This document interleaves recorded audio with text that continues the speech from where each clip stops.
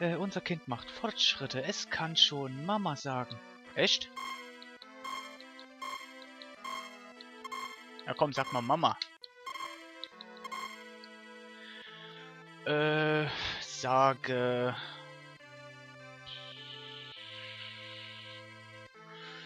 Äh, ja. Proportionalitätsfaktor. Okay, dann eben nicht.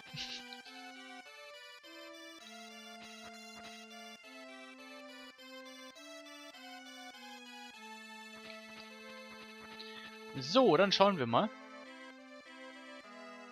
Welchen Tag haben wir? Wir haben Dienstag. Gut, sehr schön.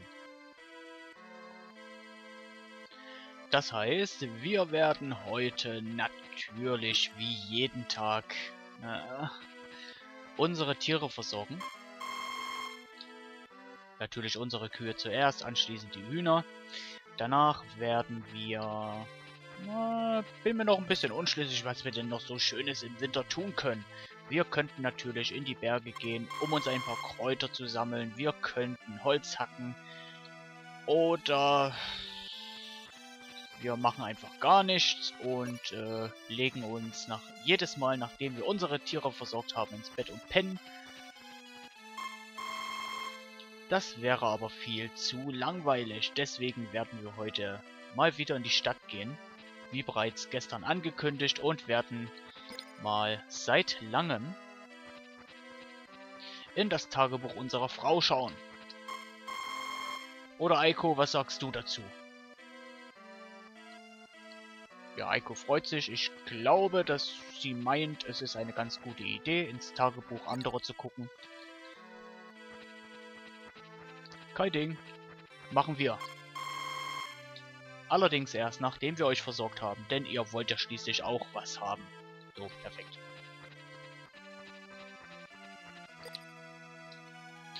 So, die großen Kühe sind alle versorgt. Kümmern wir uns natürlich erst einmal um die Fütterung und anschließend werde ich noch einmal ganz kurz den Kuhstall resetten. Denn ich würde es doch ganz gern, ja, ich würde es eigentlich bevorzugen, wenn ich alle Kühe beim Namen kenne.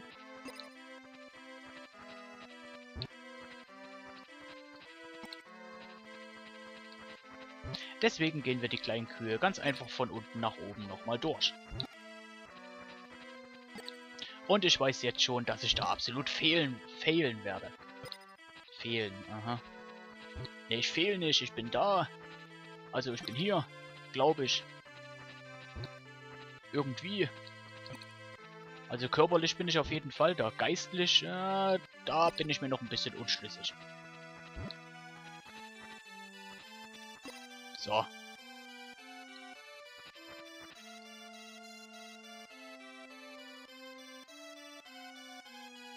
So, rein da. So, fangen wir an. Kuro müsste als erstes sein. Perfekt. 100 Punkte. Danach müsste Onpu kommen. Nein, Sora. Fail. Jetzt kommt Onpu. So, Neko. 100 Punkte. Äh, Mary. Und Moon. Perfekt. Ja, bis auf einen Fehler, doch relativ gut. Ich denke, das kann man so stehen lassen. Und auf geht's, geht es in den Hühnerstall. Ah. Äh, ich möchte allerdings mal etwas ausprobieren.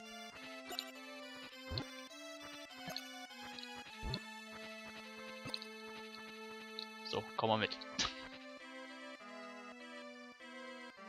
Da wir seit unserer Hochzeit unserer Frau jeden Tag unsere Eier schenken, würde ich das Ganze gerne mal mit unserem Kind ausprobieren. Beziehungsweise einfach mal zu gucken, ob äh, denn das Kind Eier mag. Äh, Bubu. Nee, das ist ein Ei. Ja, scheint irgendwie nicht so richtig zu funktionieren. Na gut, kein Problem.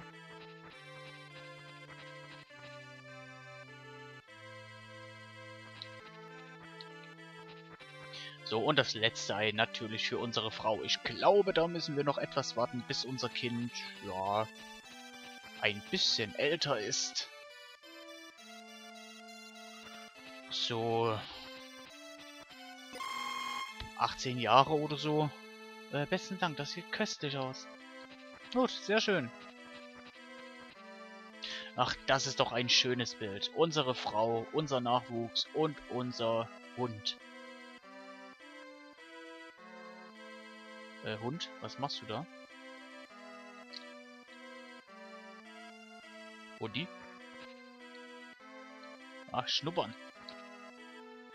Na komm, Hundi. Komm mal her. Oh, oh.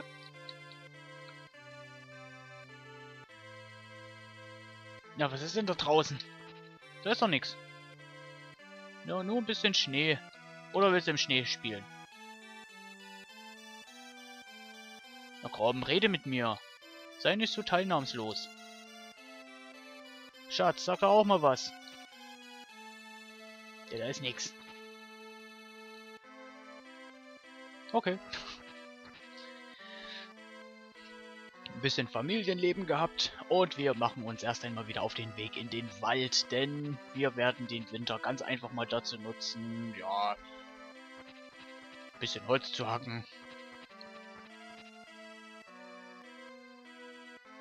So wie es sein muss. Beziehungsweise so wie es sich gehört.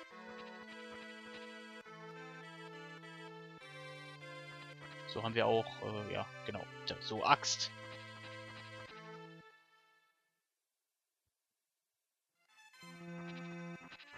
Ach, der Wald ist auch schön.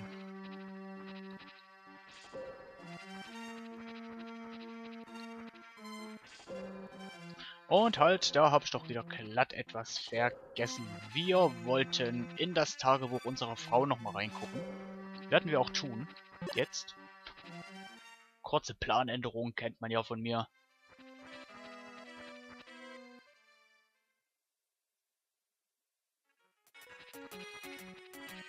Boah, kleines Mädchen. Äh, äh, du solltest das Buch der Wahrsagerin genau studieren. Es ist nicht leicht, das Herz eines Mädchens zu erobern. Ich weiß das, denn ich bin in Wirklichkeit 18. Moment. Hi. Oh, guck mal, Davidstern. Äh, du kannst die Zeit nicht anhalten. Es gibt keine zweite Chance. Überlege also gut, bevor du handelst. Enzyklopädie der Weissagung. Dr. Sommer.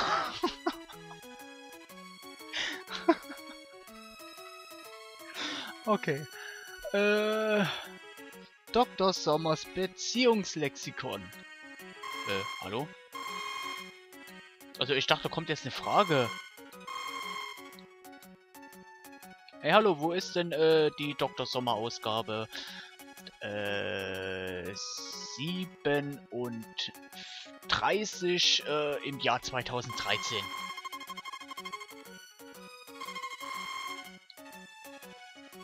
Okay, die will nicht mit mir reden. Hast du die Dr. Sommer Ausgabe? Naja, deinem Satz nach zu urteilen hast du auf jeden Fall äh, das gelesen. Okay. Oh, hi Ellen. Tschüss Ellen.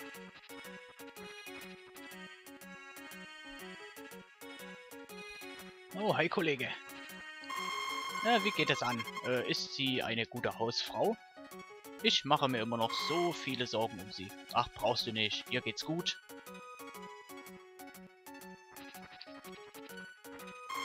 So, Tagebuch gefunden. Boah, ach du Scheiße. 1, 2, 3, 4, 5, 6, 7, 8, 9, 10, 11. Moment, hatten wir das letzte Mal nicht auch schon 11? Ja, bin ich mir jetzt gar nicht so hundertprozentig sicher. Hast du denn die aktuelle Dr. Sommer-Ausgabe? Äh, nö. Ah, das ist ein Foto meiner Frau. Moment, hier gibt es Geheimnisse. Also, äh... In Form von, äh... Dialogen? Hallo?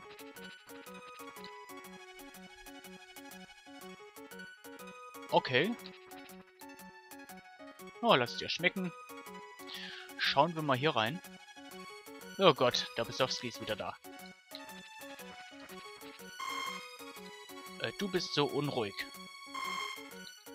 So unruhig. Äh, leckeres Gebäck. Menü für uns zwei. Oh, was hast du denn zu sagen? Äh, was für ein Zufall. Äh, welche Stimme hatte ich? Äh, wirst du heute hier speisen? Ah, stimmt, das ist ja geil. Das ist ja gar nicht die Kneipe. Äh, wenn, wenn man in manchen Situationen nicht die Nerven behalten würde, wäre man schnell reif für das Irrenhaus. Echt? Oh, Vogel. Oh. Der macht sogar Geräusche. Hier scheint nichts zu sein. Okay.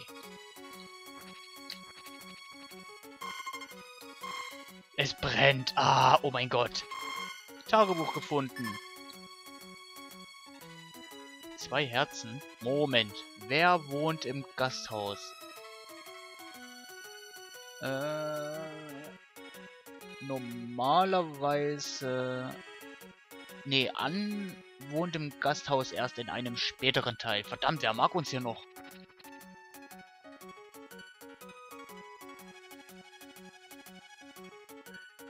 Ellen. Stimmt, Ellen wohnt hier. Verdammt, Ellen, warum magst du uns? Äh, wir öffnen demnächst, okay. So, mag uns denn, äh... Mary, Mary, Marie. Ich freue mich schon auf den Frühling. Äh, bei dieser Kälte holt man sich leicht einen Schnupfen. Zieh dich warm an. Ja, ist ein bisschen schwer zu lesen gewesen. Äh, möchtest du den Zettel lesen? Ja, natürlich, wir lesen gerne fremde Post. Am 23. Tag des Frühlings findet das Blumenfest statt. Genieße die verschiedenen Düfte. Okay. Was hast du denn zu sagen? Na, wie läuft es denn so? Arbeite nicht zu hart. Mach mal eine Pause. Ja, werde ich auch gleich tun. Äh, böse Taten bleiben schlecht, auch wenn sie keiner bemerkt. Wir machen alle Fehler, so sind wir Menschen eben. Oh Gott. Äh, allerdings sollte man sich auch zu seinen Fehlern bekennen. Okay. Ereignisse des Jahres... Oh, oh, halt, was? Wir können hier auch äh, die Feiertage nachlesen. Okay, das ist mir neu. So, erster Tag des Frühlings Neujahrsfest, 23. Tag des Frühlings Blumenfest, 12. Tag des Herbstes Erntedankfest, 20. Tag des Herbstes Eierfestival, 10. Tag des Winters noch ein Erntedankfest, am 24. Tag des Winters das Kometenfest. Oh Gott. Äh, Sagen und Legenden, eine Pflichtlektüre für jedermann. Okay. Na gut, mehr gibt es ja auch nicht. Schauen wir uns noch etwas um. Du hast doch bestimmt nichts dagegen, oder? Das sieht aber lustig aus. Was ist das? Äh, das sieht irgendwie aus wie Obst. Oder so. Ah, es brennt. Äh, Mythen der Götter. Eine Menge theologischer Bücher. Aha. Mythen der Götter, ja, kennen wir, haben wir bereits im Vorraum gelesen, beziehungsweise mal nachgeguckt. So, na, hier gibt es nichts. Gott und die Welt, Freude am Leben. Okay. So, Marie. Mer Mary. Oder so. Na gut, sie kann uns überhaupt nicht leiden. Sie findet uns einfach nur scheiße. Das ist, ja, eigentlich ganz gut.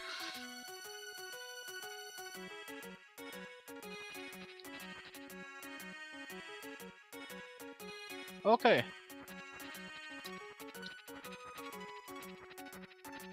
So. Ich liebe Maria, hoffentlich wird sie einmal meine Braut. Du bist doch viel zu jung. So, die Kirche wo es nichts gibt. Moment, was ist das? Nee, nee, nee. Äh, betrogen werden ist mit Sicherheit leichter zu verkraften, als selbst zu betrügen. Das ist meine feste Überzeugung. Ey, genau, ey. Die Zeit rast, wenn man älter wird, die Jahre vergehen. Wie im Flug, leider. Oh, in der Kirche kann man endlich zur Ruhe finden. Nur an Feiertagen ist hier viel los, ansonsten herrscht Ruhe. Oh Gott, äh, wie viel hast du zu sagen, meine Güte? Mit einem Partner an der Seite ist das Leben viel netter. So, diesen Satz wollte ich nochmal äh, lesen. Betrogen, äh, betrogen werden ist mit Sicherheit leichter zu verkraften, als selbst zu betrügen.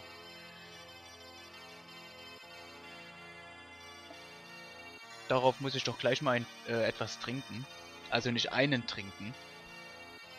Was ist denn das für ein Penner? Betrogen werden ist mit Sicherheit leichter zu verkraften, als selbst zu betrügen. Ey, hallo, hast du nicht mehr alle Latten am Zaun oder was?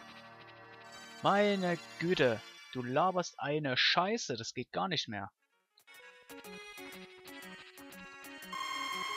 Dann glaubst du, äh, dass es eine Blume gibt, die auch im Winter blüht? Äh, ja, die habe ich gesehen. Na klar. Sie muss wunderschön sein. Naja, sie ist blau. Der ist bestimmt kalt. Oh, oh, oh, der tut weh. Äh, was suchst du? Äh, schmutzige Zeitschriften.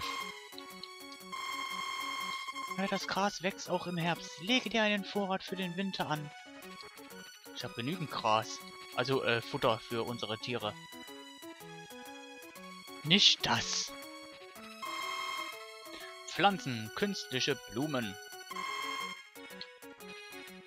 Ah, es brennt. Ah.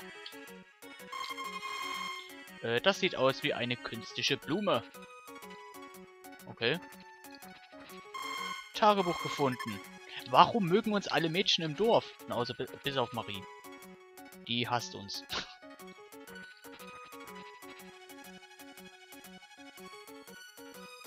Na gut, was sagt denn die Tic-Tac? 1 Uhr. Sehr gut, wir wollten eigentlich im Wald ein bisschen Holz hacken. Stattdessen haben wir den ganzen Tag damit verbracht, sinnlos in der Stadt rumzulaufen und irgendwelche, ja, keine Ahnung, seltsamen Dinge zu tun. Na, mal eben nachgucken, haben wir schon 3 Uhr, ja. Okay.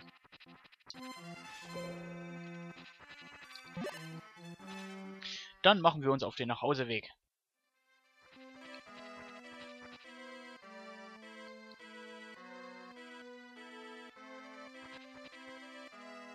Moment, Tick-Tack.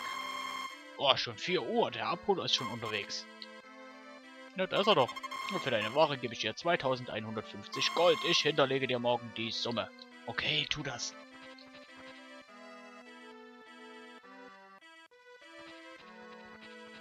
So, Schnäuzelchen, ich bin wieder da.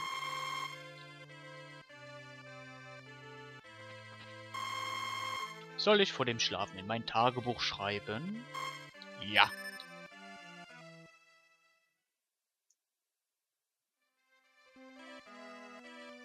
So.